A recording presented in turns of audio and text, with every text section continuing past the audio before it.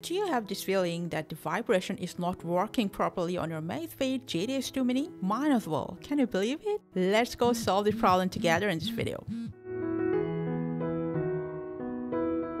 On your watch, from settings, go to preference to vibration strength. Now here, why don't you set it to strong and see how it goes. If you've already done it and not working, you can set the vibration pattern into a more recognizable mode. Open the Zepp app, go to your profile, tap on the device name, and here, tap on vibration. Here are the different types of activities that you can set vibration to. Enter one by one, tap on this add sign to create your own vibration pattern. Just tap on it to create.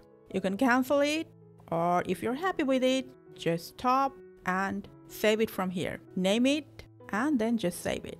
You can use this pattern for all of them or just create different types of vibration for different activities. And after all this, go ahead, give your watch a restart. After the restart, if there is no serious hardware issue with your watch, the vibration not working problem will not bother you anymore.